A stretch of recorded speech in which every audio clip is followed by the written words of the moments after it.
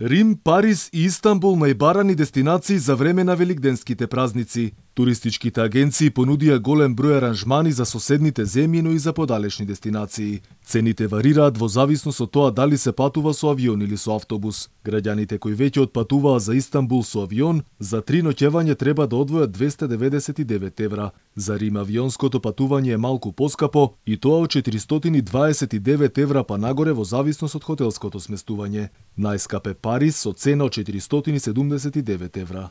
Интересот секако ако треба да го споредиме со изминатите две години, е доста зголемен. Авионските нормално се, не, се нешто поскапи, но сепак не прескапи, поволни.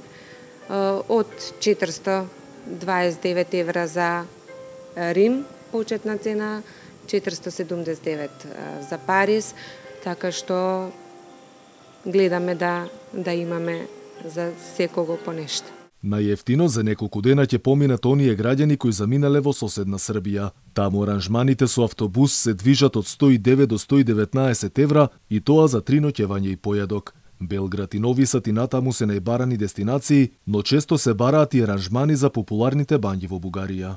Например, Атина пред продажба ја продававме 109 евра, во редовна продажба беше 119 Нови Сад исто така, три ноќевања со појадок 119 евра, индивидуални патувања со собствен превоз нели до соседна Грција во бањите во Бугарија. Туристичките работници имаат полни раце работа и за предстојните првомајски празници, но и државниот 24 мај, односно Свети Кирил и Методиј. Најпосакувани дестинации се Истанбул и Анталија, секако со авионски превоз. Но за оние со подлабок джеп, агенциите нудат аранжмани на подалечни дестинации како што се Тоскана, Мадрид, Кападокија и Дубаи.